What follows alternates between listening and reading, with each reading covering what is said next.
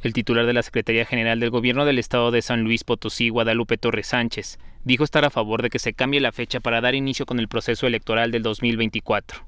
De esa manera recordó la iniciativa de ley promovida por una diputada de Morena en la que se propone que el proceso electoral comience el primero de enero del próximo año. Lo vemos positivo, primero porque no se afecta el proceso electoral ni sus, ni sus, etapas. Eh, ni sus etapas. Esa es la parte más importante. Pero segundo, pone orden a todos los adelantados. Hay que poner orden. La ciudadanía hoy lo que nos exige es que trabajemos. Eso es lo que estamos haciendo y no que se entretengan con otras cosas. Si quieren desempeñar un puesto distinto, pues que se vayan y si no, que se queden y que nos pongamos a trabajar. Según refiere, este cambio no afectaría los procesos ya establecidos por parte del Consejo Estatal Electoral y de Participación Ciudadana.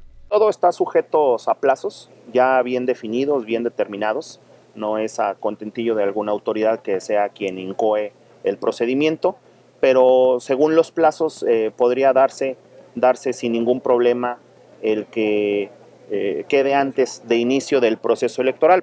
Torres Sánchez mencionó que esta medida ya se ha concretado en otros estados de la República. Lo mismo podría ocurrir en San Luis Potosí para llevar a cabo la consulta ciudadana sobre la municipalización de Villa de Pozos.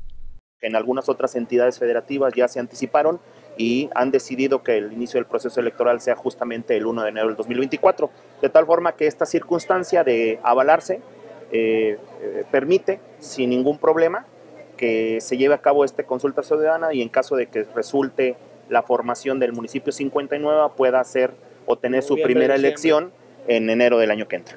Con edición de Salvador Covarrubias, José Luis Vázquez, Noticieros Canal 7.